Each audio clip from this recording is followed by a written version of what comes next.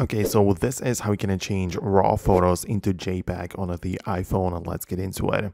Well, naturally you have the ability to edit them and perform, you know, all of the like tweaks and uh, every change as you would normally do in like apps like Lightroom and Snapseed and then you can export it as a JPEG. But if you still have some like raw photos laying around, how can you get rid of those or how does that really work? Well, for this, I think it's best to use a Siri shortcut. So there's going to be one linked below in the description, right? So you'll be able to just click on it and install it or like just get it for your own device. And this one is essentially going to be looking like this.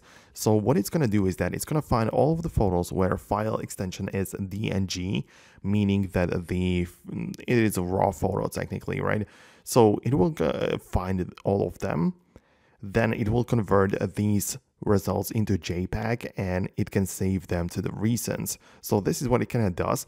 There might be an in-between step of deleting all of the recent or all of the like raw photos which we just converted. So you might want to do that or you might just delete the step right away and keep the original like raw photos as well right? So this is kind of how it works. Of course you can also add like a couple of different filters and you can also choose that only the raw photos taken within like 60 minutes are supposed to be uh, you know like converted to JPEG. So there are some options to tweak, but it is a great shortcut. So go ahead and just try it out. And this will allow you to change the raw photo into JPEG using the iPhone. So hopefully you found this video useful and informative.